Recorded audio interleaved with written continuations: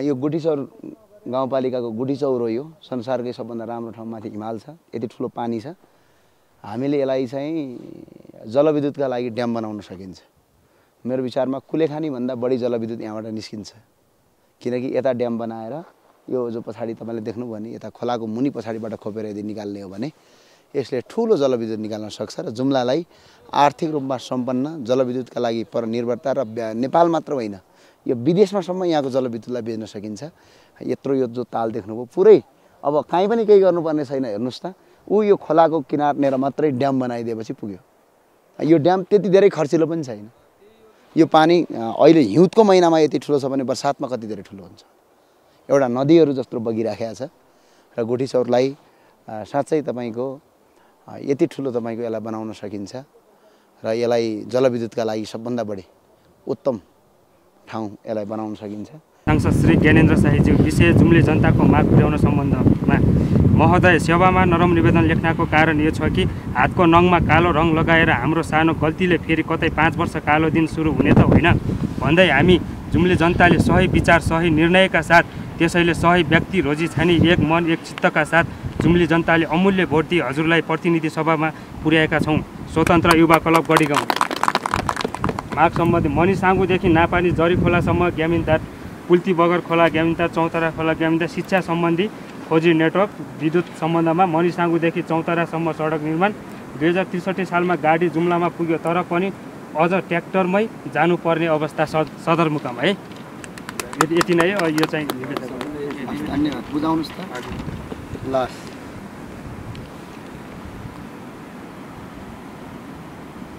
वास्तवमा गर्ने भने यही हो। अस्ति आएर झुटा कुरा गरेर किन जाने? अब यसमध्ये जति काम गर्न सकिन्छ गाउँपालिकाबाट गर्न सकिने म गाउँपालिकाबाट गर्छु। अब छ महिनामा गर्न सकिने छ महिनामा गरौँला। एक वर्ष लाग्ने एक वर्ष लाग्ला तिन वर्ष लाग्ने तिन वर्ष लाग्ला। गर्न नसकिने अवस्था आउँछ भने यो गर्न सकिएन है भनौँला सबै गर्न सकिन्छ भन्ने पनि त छैन। त्यो भए हुनाले तपाईँलाई अब चुनाव जितिसकेपछि चाहिँ म गाउँ गाउँ आएँ। गाउँ गाउँ जाँदैछु। यहाँ पहिलो चुनाव जितेपछि पहिलोपटक म चुनाव जितेको पहिलोपटक नै गाउँ स्तरीय भ्रमणमा म यहाँ गोटीचौरमै आएँ। तपाईँको घर आँगनमा अस्ति आउँछु भनेको थिएँ अहिले आएँ। त्यो भए हुनाले यी कुरामा मेरो ध्यान आकर्षण भएको छ। कहाँबाट कसरी के हुन्छ यसको बारेमा एउटा छुट्टै टिम पनि बनाउनुहोस् है यहाँ अहिले। तपाईँहरूको यो तिन चारवटा पाँच छवटा गाउँ मिलेर एउटा टिम बनाऊ। हरेक गाउँको दुईजना तिनजना मान्छे रहने गरिकन। अनि त्यो टिमले मसँग निरन्तर कोर्डिनेसन गर्छ है। अनि गरेर कहाँ कसरी के गर्नु सकिन्छ म त्यही गर्छु। अब नयाँ मन्त्री आयो भने नयाँ मन्त्रीसँग मिटिङ गर्छौँ। नयाँ मन्त्री आएनन् भने पछाडि नेपाल टेलिकमसँग गएर फोर जी यहाँ कसरी हाल्न सकिन्छ यो यहाँको मात्र समस्या होइन। सानसाना टावर होइन सिङ्गो जिल्लाको समस्या छ। यो रिले टावरले हुँदैन। अर्कै लाइन पनि ल्याउनुपर्छ भन्ने कुरा पनि विज्ञसँग छलफल गरिरहेको छौँ। यो सकभर हामी अबको कहिलेसम्म हुन्छ यो समस्या छिटो चाँडो सम्बोधन गर्नुपर्ने अवस्था छ। किनकि हामीले नेट पनि चलाउन पाएको छैनौँ। दुनियाँ कहाँ पुगिसक्यो? हामी टु जी चलाएर बस्नुपर्ने भएको छ। यो तपाईँले थाहा पाइहाल्नुहुन्छ। यो म सम्बन्धित निकायमा गएर तपाईँको यसको पहल कदमी गर्छु। अरू के के छन्? अब मन्दिरको कुरा छ खानेपानीको कुरा छ। अब यो आज तपाईँले यो कुरा उठाउनु भयो यतिले पुग्दैन। अब वृहत आयोजना सुरु भएको छ खानेपानीको। अब त्यो धौलीघाट सुरु भएको छ त्यो आइसक्यो भनेपछि यहाँसम्म पनि पुग्ला। अब यहाँसम्म यदि त्यो पुगेन पुर्याउन सक्ने अवस्था रहेन भनेपछि यसको विकल्पमा अर्को कुरा हामीले सोच्नुपर्छ। तपाईँहरूले यति धेरै माया गर्नुभयो।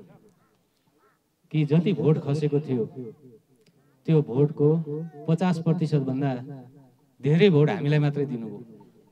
तपाईँहरूले जुन भरोसा राख्नुभएको छ हामीप्रति त्यो भरोसालाई हामी टुट्न नदिने प्रतिबद्धता जाहेर गर्न आज हामी तपाईँहरूको माझमा उपस्थित भएका छौँ। मैले चुनावभन्दा अगाडि तपाईँहरूको गाउँमा आएर यही ठाउँमा आएर मैले भनेको थिएँ। तपाईँहरूलाई हामीले निवेदन गरेका थियौँ। कि तपाईँ काङ्ग्रेस भएर एमाले भएर माओवादी समाजवादी भएर राप्रपा भएर पनि होइन। एकचोटि जुम्ली भएर सोचिदिनुहोस्। एकचोटि पार्टीभन्दा माथि उठेर हेरिदिनुहोस्।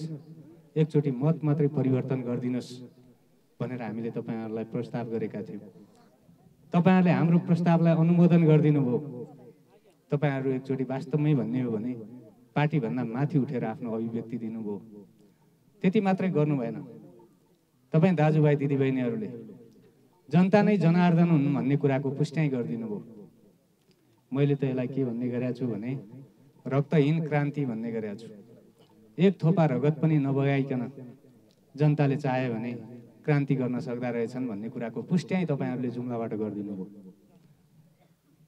आखिर के को लागिरहेछ त हिजो? आफ्नै दाजुभाइ बिचमा मारामार काटाकाट के को लागिरहेछ? यही कुराको लागि त रहेछन्। कति मान्छे मारिए कति घरबार विहीन भए कतिको जिन्दगी बर्बाद भयो के पायौँ हामीले? त्यति मरेर त्यति मारिएर दाजुभाइहरू जुन मान्यता स्थापित गरिएको थियो त्यो मान्यतामा तपाईँहरूले एकजना मान्छेलाई पनि दुःख नदिएर एक थोपा रगत पनि नचुहाएर एउटा क्रान्तिको बिगुल तपाईँहरूले अस्तिको चुनाव मार्फत जुम्लाबाट सुरु गरिदिनु भयो यसलाई मैले रक्तहीन क्रान्ति भनेर भन्ने गरेको छु। तपाईँहरूले जनता नै शक्तिको स्रोत हुन्। लोकतन्त्रमा जनताभन्दा माथि कोही पनि छैन भन्ने कुराको पुष्ट्याइ गरेर तपाईँहरूले उदाहरण दिनुभएको छ। तपाईँहरूले हामीलाई मतदान गर्दै गर्दा र अहिले मत परिणाम आउँदै गर्दा तपाईँ हामी जुम्ली जनतालाई हेर्ने दृष्टिकोण आज परिवर्तन भएको छ। मैले तपाईँहरूलाई अस्ति यही ठाउँमा आएर निवेदन गरेको थिएँ कि हामी जुम्ली भन्ने मान्छेलाई बाहिरका मान्छेहरूले हेर्ने दृष्टिकोण फरक छ। काठमाडौँ सहरका मान्छेले हेर्ने दृष्टिकोण फरक छ। तपाईँहरूले परिवर्तन गरेर देखाइदिनु भएको छ। आज प्रत्येक जुम्लीलाई हेर्ने दृष्टिकोण परिवर्तन भएको छ मङ्सिर चार गते पछाडि। त्यो हो शक्ति भनेको। तपाईँहरूले त्यो पुष्ट्याइ दिनुभएको छ दाजुभाइ। योभन्दा अगाडि पनि त हामी चुनावमा लड्यौँ। योभन्दा अगाडि पनि त कोही न कोही न विजय गराएर पठायौँ।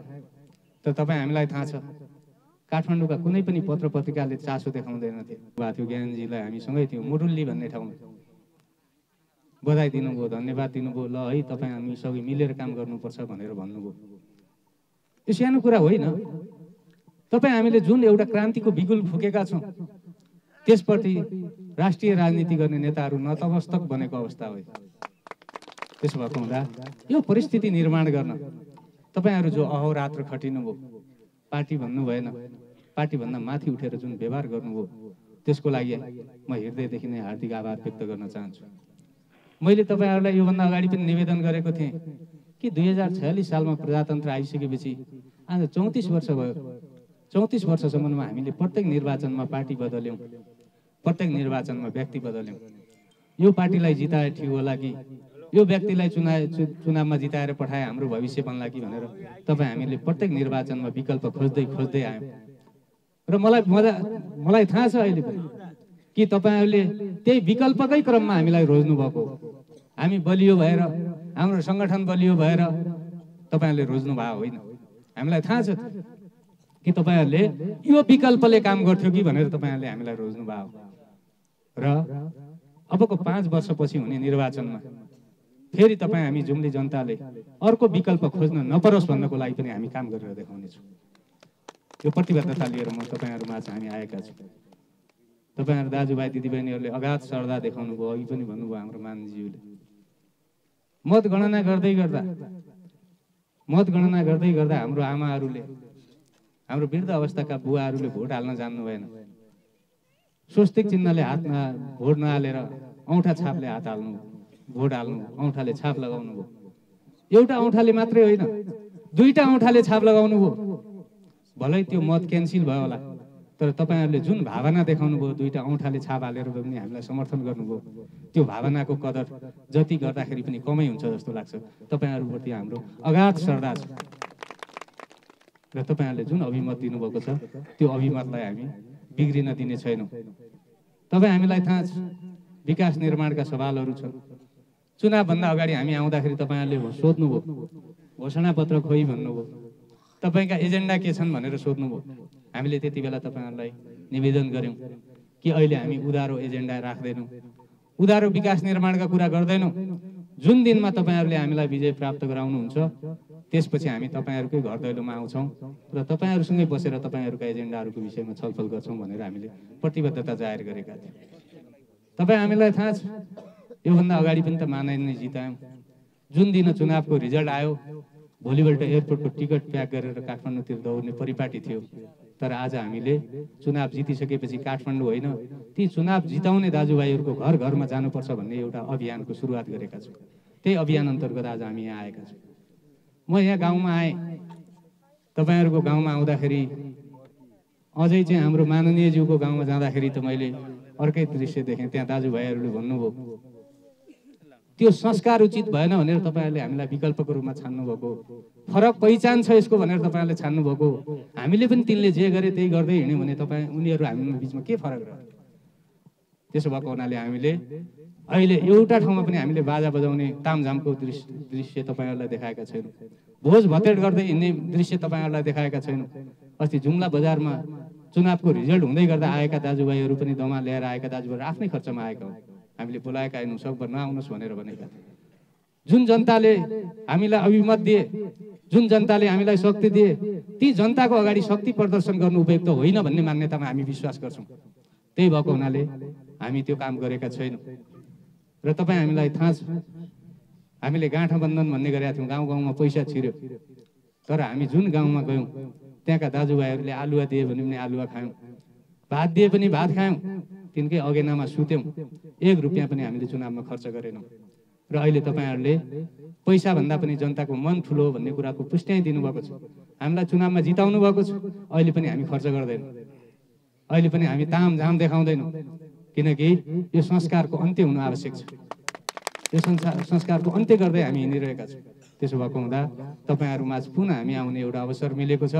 तपाईँहरूले हाम्रो फरक पहिचान र हाम्रो दृढ दृढ सङ्कल्प जो छ त्यसमा सहयोगीको भूमिका निर्वाह गर्नुहुनेछ भन्ने कुरा विश्वास लिन चाहन्छु र विकास निर्माणका सवालमा तपाईँहरूका विभिन्न मागहरू होलान्। आज त्यही कुरा सोध्न तपाईँहरू माझ आएका हौँ प्रत्येक व्यक्तिले बोल्दाखेरि समय लाग्ला। तपाईँहरू एक गाउँको एकजना मान्छे बसेर एउटा लिस्ट बनाउनुहोस्। त्यो एजेन्डाहरूको पृथकीकरण गर्नुहोस्। कतिपय कामहरू धारो बनाउने होला कुलो बनाउने कुलेसो बनाउने होला। थानमाथि जस्ता हाल्ने होला। ती सामान्य कामहरू गाउँपालिका स्तरबाटै समाधान हुन सक्दछन्। कतिपय मागहरू प्रदेश स्तरबाट हुने हुन सक्दछन्। कतिपय राष्ट्रिय महत्त्वका कामहरू हुन सक्छन् जो केन्द्रीय तहमा आवाज उठाउनु पर्ने हुनसक्छ हाम्रो माननीय सदस्यज्यूले प्रतिनिधि सभाको सदस्यज्यूले गाउँपालिका स्तरबाट हुने समस्याहरू छन् भने गाउँपालिका अध्यक्षज्यूसँगै समन्वय गरेर तपाईँहरूका समस्या समाधानको लागि पहल गर्नुहुनेछ। प्रदेशबाट गर्नुपर्ने राष्ट्रिय योजना आयोगमा कुर्नुपर्ने संसदका विविध समितिहरूमा पुग्नुपर्ने र विभिन्न मन्त्रालयमा धार्नुपर्ने परिस्थिति छ भने उहाँले त्यो अनुसारको समाधानको विकल्प खोज्नुहुनेछ। हामी जुम्ली जनता र जुम्लाको पक्षमा संसद भवनभित्र मात्रै होइन नेपाल अधिराज्यभरिका जुनसुकै फोरममा जाँदाखेरि पनि जुम्ला र जुम्लीवासीको भविष्य र जुम्ला र जुम्लीवासीको आवाजलाई कमजोर हुन नदिने एउटा वक्ता र क्षमता भएको मान्छे तपाईँ हामीले चुनेर पठाएका छौँ। त्यसको लागि अब जुम्ला बोल्छ। अब जुम्ला सुन्दैन नसुनेर बस्ने होइन। अब जुम्लाले बोल्छ र अरूले सुन्ने दिन आउँछ। हिजो पनि हामीले चुनाव जिताएर पठाएका थियौँ। बोल्दै नबोलेर माननीय जुहरू आउनुभयो। अस्ति नै प्रसङ्ग चल्यो। अनुशासनको पुरस्कार ल्याएर आउनुभयो। अब अनुशासनको पुरस्कार ल्याउने होइन। आवश्यक पर्यो भने टेबल फुटालेर भए पनि कर्णाली र जुम्ला जिल्लाको पक्षमा आवाज उठाउन सक्ने मान्छे तपाईँ हामीले पठाएका छौँ। त्यसकारण मलाई लाग्छ अबको पाँच वर्षमा हामीले राम्रो काम गरेर देखाउनेछौँ र अर्को पटक भोट माग्न आउँदाखेरि तपाईँहरू कहाँ यी यो काम गऱ्यौँ अब हामीलाई भोट दिनुहोस् भनेर आउने वातावरण पर्नेछ भन्ने कुरा मैले विश्वास लिएको छु। अहिलेको बहालवाला गृहमन्त्रीलाई पनि राप्रपाकै नेताले हराउनु दिपक बोहराले हामीले चारवटा पूर्व गृहमन्त्रीलाई हराएका छौँ। चारवटा। सातवटा ठाउँमा हामीले विजय प्रा- प्राप्त गरेका छौँ। अहिले पनि दस बाह्रजना समानुपातिक सांसद आउने सम्भावना छ। प्रदेशमा चौधजना तेह्र चौधजना हामीले अहिले जितेका छौँ। प्रदेशमा सबै प्रदेश गरेर पैँतिस तिस पैँतिसजना सांसद हुने सम्भावना छ। झन्डै पचासजना माननीय भएको पार्टीको प्रवक्ता हुनुहुन्छ अहिले ज्ञानेन्द्र साई। त्यति मात्रै होइन तपाईँ हामी जुम्ली जनताले अगाध प्रेम गरेर अगाध माया दर्शाएर विजय गराएको अत्याधिक बहुमतका साथ विजय गराएको माननीय हुनुभएको छ। तपाईँ हामीले भरोसा गर्ने व्यक्तित्व। मलाई लाग्छ अब जुम्ला राष्ट्रिय राजनीतिमा स्थापित हुन्छ। अब जुम्लालाई राष्ट्रिय राजनीतिमा स्थापित गर्ने जुन हाम्रो महाअभियान थियो त्यो अभियानमा तपाईँहरूले सहभागी भएर आफ्नो अभिमत जाहेर गरेर जुन चाहिँ तपाईँहरूले भावना दर्शाउनु भयो त्यसको लागि पुनः हृदयदेखि हार्दिक धन्यवाद दिन चाहन्छु र हामीलाई माया गर्ने हामीलाई ममता गर्ने बुवा आमाहरू हुनुहुन्छ। वृद्ध अवस्थाका बुवा आमाहरू कतिपय ठाउँमा यस्तो दृश्य पनि देखियो कि छोराले अहिलेसम्म बाबुआमाले भोट हालेका थिएनन् साँची मात्रै बसेका थिए। छोरा जान्थ्यो आफै भोट हालिदिन्थ्यो तर अहिले कतिपय बुवा आमाले त यस्तो भन्नुभयो मेरै छोरो भए पनि मैले भनेको ठाउँमा हालिदिने हो कि होइन? भनेर। आफै गएर म तँलाई वारिसे दिन्न। म आफै जान्छु र आफै भोट हाल्छु भनेर तपाईँहरूले भोट हाल्नुभयो त्यस्तो बुवा आमा पनि देख्यो तपाईँहरूले जुन भावना देखाउनु भएको छ जुन विश्वास देखाउनु भएको छ अहिले त्यो विश्वासको वर्णन जति गर्दाखेरि पनि कमै हुन्छ जस्तो लाग्छ। त्यसो भएको हुनाले तपाईँ बुवा आमाहरूलाई पनि हामी हृदयदेखि नै आभार प्रकट नगरिरहन सक्दैन।